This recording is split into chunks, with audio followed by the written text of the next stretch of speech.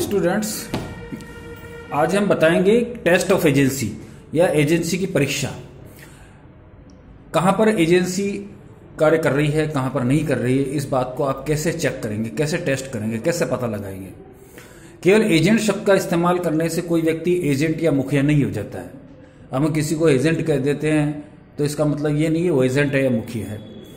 Agent एक वो person होता है जो कि मुखिया की ओर से कार्य करने की जिसको पावर्स होती हैं।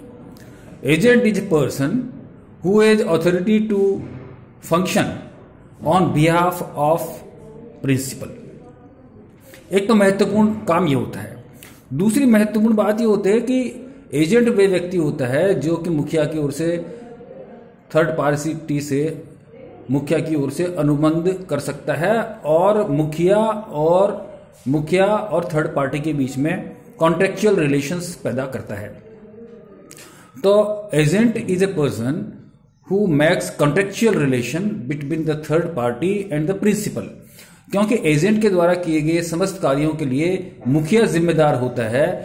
एजेंट तो केवल उसकी ओर से रिप्रेजेंट करने वाला व्यक्ति होता है, उसकी ओर से प्रतिनिधित्व करने वाला व्यक्ति होता है। बाकी सारी ज़िम्मेदारी मुखिया की होती है। तो principal is responsible for the all the acts of the principal of acts of the agent तो agent is on the only the person who acts on behalf of the principal अर्थात महत्वपूर्ण बातें यह है कि एजेंसी का relation स्पष्ट रूप से या गर्भित रूप से हो सकता है। The agency can be established in express form और इम्प्लाइड फॉर्म उसके लिए लिखित में अनुबंध रिटर्न में कॉन्ट्रैक्ट होने की आवश्यकता नहीं होती है। किसी व्यक्ति ने किसी व्यक्ति को एजेंट नियुक्त कर दिया और उसके काम के लिए वो रिस्पॉन्सिबिलिटी ले लेता है तो वो चाहे मौखिक हो या लिखित हो, वो वो एजेंसी का रिलेशन कहलाएगा। दूसरी महत्वपूर्ण बात होती है कि एजेंट मुखिया की ओर से कॉन्ट्रेक्चुअल रिलेशन थर्ड पार्टी से स्टैब्लिश करने की कैपेसिटी रखता है। यानी वो थर्ड पार्टी से अनुबंधात्मक संबंध स्थापित कर लेता है और वो अनुबंधात्मक संबंध के लिए मुखिया जिम्मेदार होता है। तो वो ऑथराइज किया जाता है मुखिया की ओर से कि वो थर्ड पार्टी से कॉन्ट्रैक्ट करे। किसी भी, अगर एजेंट ने कोई कॉन्ट्रैक्ट किया है तो वो इस तरह से माना जाता है जैसे कि मुखिया ने ही थर्ड पार्टी से कॉन्ट्रैक्ट किया है। इसीलिए से मुखिया एजेंट के समस्त काम के लिए, उसके द्वारा समस्त कार्य के लिए जिम्मेदार होगा। फॉर एग्ज़ाम्पल एक्स कंपनी है। एक्स कंपनी ने वाई को कोटा में एजेंट नियुक्त किया। किसी मार्केटिंग का काम करने के लिए, कोई माल बेचने के लिए। वाई ने माल, उसके इंस्ट्रक्शन के अनुसार कैश भी बेचा क्रेडिट भी बेचा। अब क्रेडिट माल बेचा क्रेडिट माल बेचने के बाद में रिकवरी नहीं हुई तो उसके लिए एजेंट जिम्मेदार नहीं है। उसका लॉस जो है प्रिंसिपल के अकाउंट में ट्रांसफ़र होगा और principal shall be responsible for the losses और प्रॉफिट भी उसको जाएगा।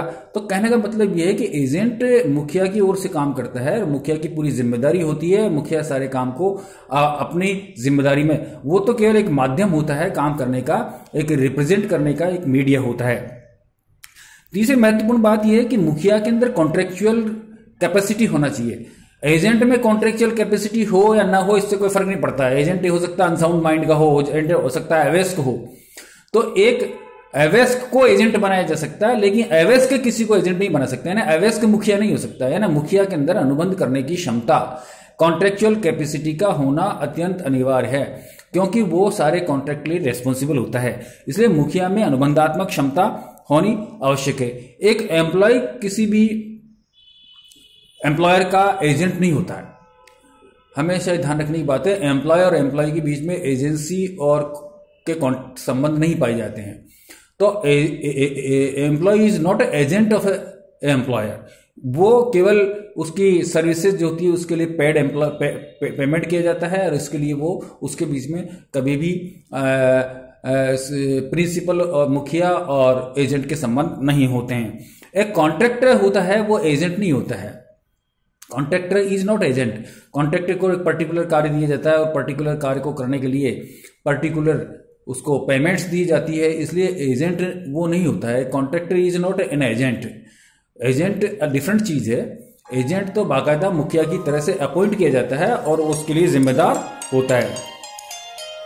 तो आपको agents agency contract of agency आपको देख लेना चाहिए। Thank you